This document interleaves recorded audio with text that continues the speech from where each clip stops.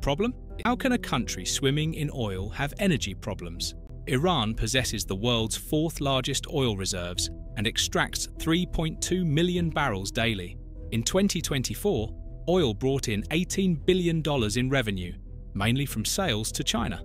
The problem? It's not enough. The state budget was based on $80 per barrel, while prices fluctuate between $70 to $75. Every dollar below this threshold means billions in losses.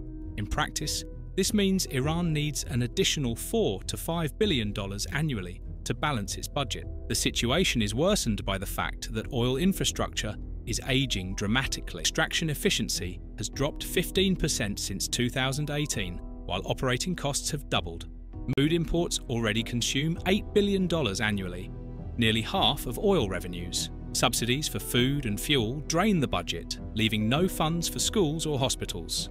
Isolation from the global financial system dealt a fatal blow. Before sanctions, Iran attracted $5 billion in foreign investment annually. Today, below $1 billion